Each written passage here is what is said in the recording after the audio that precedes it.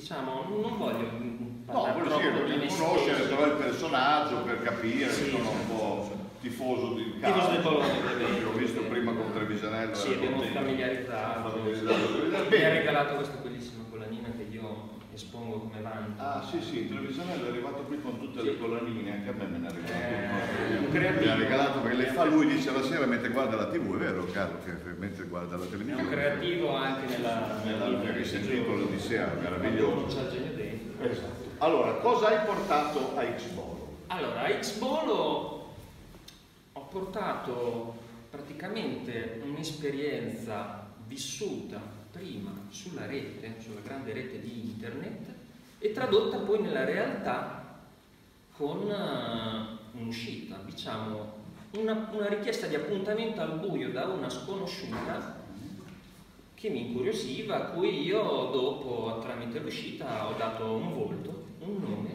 e un cognome. Perfetto. Vuoi più del leggio? per- Sì, magari. Un leggio, hai il testo però, Sì, sì, sì, ah, sì, ecco, perché sennò senza il testo. Il leggio così ti può aiutare il testo perché eh, perfetto, cioè che hai sei minuti di tempo. Esatto. La luce è un po', un po' stantia. Ecco, ti ha Ecco, acceso allora. la luce. Hai scritto in piccolo. Bravo, carattere no, Tolomelli, ormai è Tolomelli perché non è più. no, perché se no non ci sta. non si può fare. Sì, sì, Eh, sì, sì, attacchiamo un po'. Quello spunto, cosa state facendo? Va bene, allora, ha un titolo? Ha un titolo. Tutte le strade portano a Bo. Bo. O Ah, boh. Prego. in chat parlava solo di soldi e di sesso, sboccata e volgare come una zocca. Ma quando la incontrai mi accorsi che era una baragazza. Si chiamava Sara Gozza. Era proprio un bel sandonnino, con due stivali fino al ginocchio da cavazzona, ma che va al sandonato non si guarda in bocca. Era di origine persicetana, con un taglio d'occhio a cademandoli. Aveva un fisico eccezionale. Portava una decima, quattro castella superiore alla mia ex, che comunque aveva una sesto imolese. Non immaginate che impresa darle un bacio. Tutte le volte dovevo scalare due monghi d'oro, altro che badolo. Amava il kebab e la cucina, una vera madonna dei fornelli. Mi ricordo come fosse ieri, il giorno del nostro primo incontro. Arrivai pulitissimo dopo un bel lavino di sopra, di sotto e di mezzo. E profumatissimo col mio eramo di Tizzanò. Puron.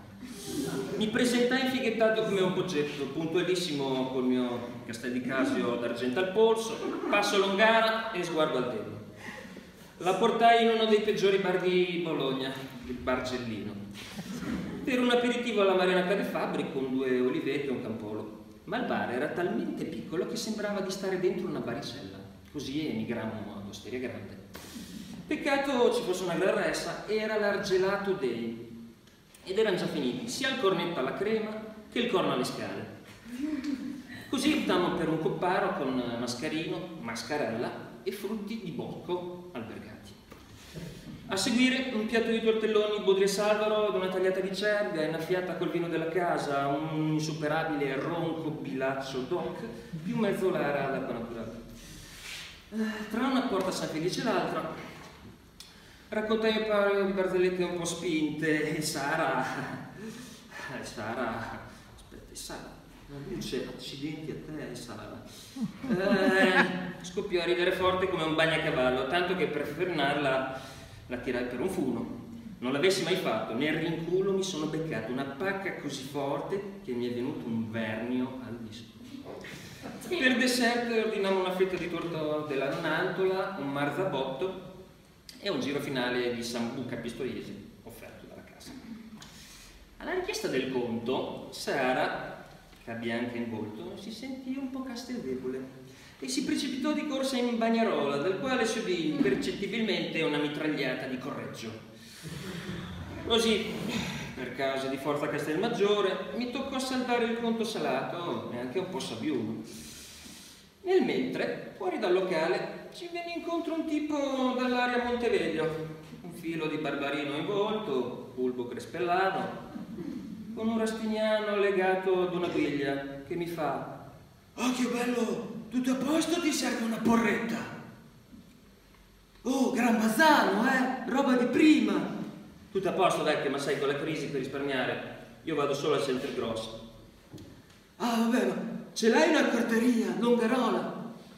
Per, insomma, per scrollarmelo di dosso, andai via in sgomma con il mio Subiana Vittoria Station Lego in cerca di un posto tranquillo, senza essere disturbati da qualche sbandato, qualche pilastrino magari armato di lama o cogno. Le proposi di imboscarci a San Michele in Bosco. E lei mi fa, ho i capogiri, soffro di vertigini. Quindi le ci prospettai una serramazzoni. Ma obiettò, Monte Acuto ragazzo, ma ci sono le zanzare. E ribatté, una villa nuova no? Ha più appeal. Eh, Monte Acuto ragazza, avrà anche più appeal, ma io non ho la pilla. Così optammo per uno squallido malalbergo di periferia, famoso per essere stato un tempo caso la Valsegno Lupin. Era una modesta stanza con tavernelle, un'umida sala bolognese. All'esterno, nel corridoio, si trovava un tipico gesso bolognese, all'aroma di muffa. Sara iniziò subito a spogliarsi, avvertendo un certo calderino, mentre la mia vista era già annebbiata come una notte d'inverno triste a Calderara. Ah, che corpo panoramico, era proprio un lizzano in bel vedere. All'orecchio le sussurrai, Sara, Marradi, Marradi. E lei fredda, ben ti voglio. Aveva un sederino a forma di mongardino e sul fondo schiena un tatuaggio dove era vergato piano del voglio. Nel dubbio appoggiai la marmorta sul suo nobile quarto inferiore. Lei rispose con un mordano al mio spilamberto. Ah, Suchmel, con di dolore dal profondo del mio monte Budello. Avevo rischiato di essere castrocaro dalla sua lussuriosa bocca di rino. Insomma, i preliminari furono lunghi e dolorosi, come un pragatto attaccato ai sasso marconi.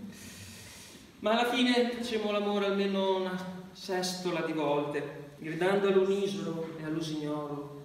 Godo, odo, odo, odo. Ah, ah, ah. Udito anche da San Lorenzo in collina, che preoccupato venne giù a vedere cosa fosse successo.